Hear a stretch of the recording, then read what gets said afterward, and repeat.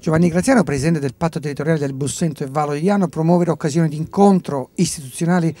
a prescindere dalle eh, appartenenze politiche e ideologiche, si, si, cresce anche così, si valorizza anche così un territorio, vero Presidente? Ma sì, intanto io ci tengo a chiarire, così come ho già fatto in passato, che questo incontro non vuole essere una passerella eh, con i soliti convegni, ma vuole essere un primo incontro con i tecnici eh, della Regione per questa opportunità data dai, eh, dal piano di sviluppo rurale eh, emanato nei giorni scorsi opportunità che eh, si aprono per il nostro territorio e che intendiamo cogliere. Tant'è vero che già la settimana prossima abbiamo delle riunioni operative, oggi eh, iniziamo a discutere, lo partecipiamo al territorio e per cui siamo fiduciosi di portare il beneficio dalle parti nostre. Questo tipo di comunicazione eh, intessuto, questa possibilità che gli altri hanno di partecipare a questi incontri sembra essere ben recepita dal, dal territorio e anche dal, da, da, dagli amministratori, dai sindaci del comprensorio. Ma secondo me noi in questo periodo stiamo eh, scrivendo delle belle pagine della politica locale perché eh, messi da parte gli steccati di parte si sta ragionando tutti quanti insieme